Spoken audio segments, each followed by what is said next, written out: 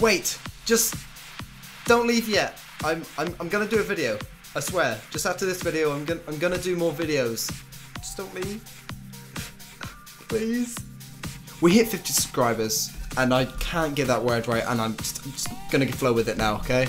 I've been working all day, making sandwiches at Subway. I've got two shifts left at Subway. Shifts, shifts. Fuck!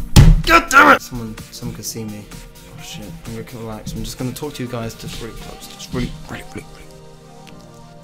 So with all my 50 subscribers, I would like to say we're gonna hit 100, and if we do, I'll rip my I'll rip my dick off.